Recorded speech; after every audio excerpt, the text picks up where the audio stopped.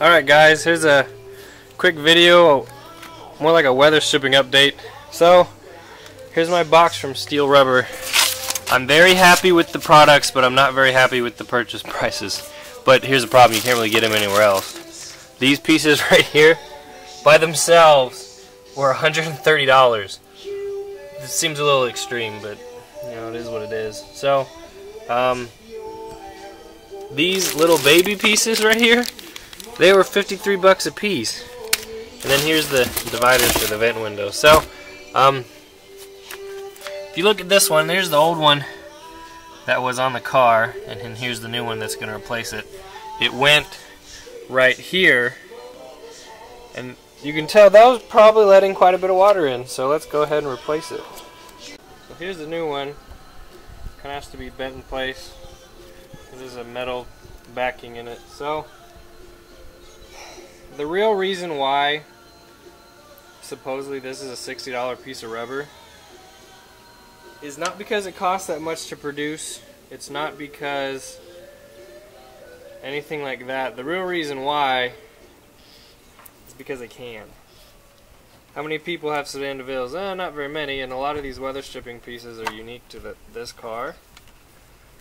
And so, for like the five people that own them, they can charge what they want. And that's what they do.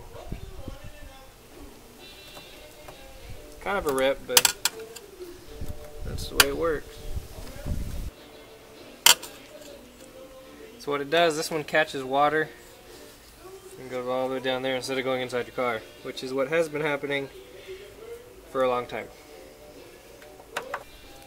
So something to know before you buy a Cadillac like this, not, if you have somewhere to keep it inside, do it, or else you're to have to spend $1,300 or so just on weather stripping, which to me is really, that's pretty stupid. I don't see why it should be should be cost that much at all.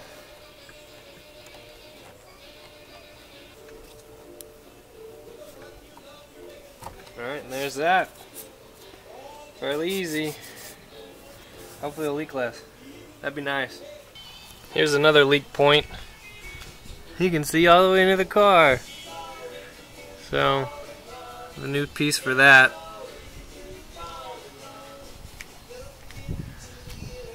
Here it is.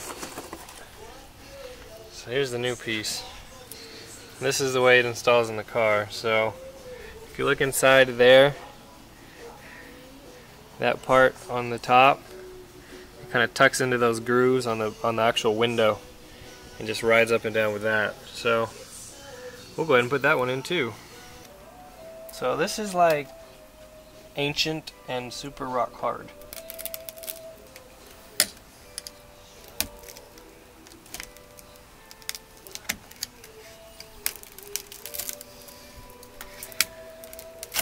thing about this weather stripping is a lot of the original stuff it came back with fabric. I don't know why. Roof rails did the same thing. That's how they made it back then, I guess. Cadillac quality. this is a lot harder to get out than I thought it was going to be.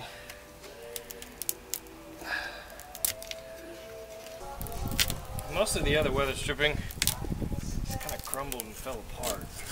It was pretty tough.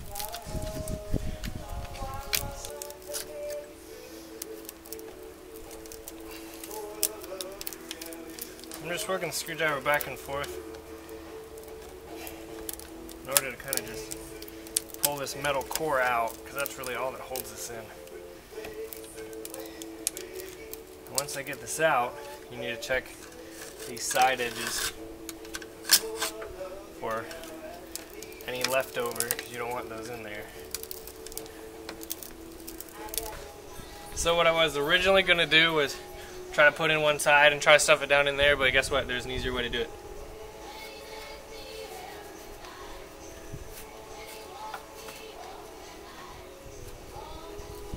Ta-da! And there it is. Which is good, because it took forever to get the other one off.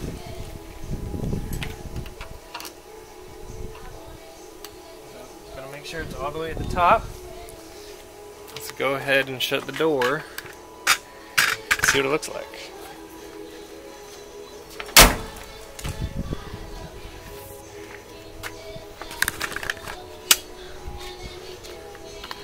Well, it's definitely better. You still see in there though. I need to adjust that a little bit. But other than that, um, that's definitely an improvement. All right, we got the other side done. Looks great.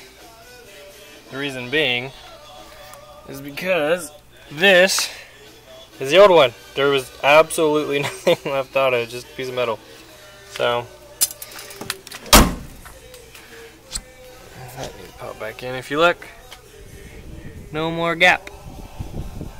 So that should seal. And there's that right there.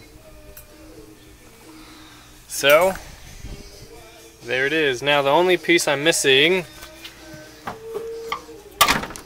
is this piece right here. I don't really, I mean, is there a piece right here? I'm assuming there is, so um, let me know if you can find it.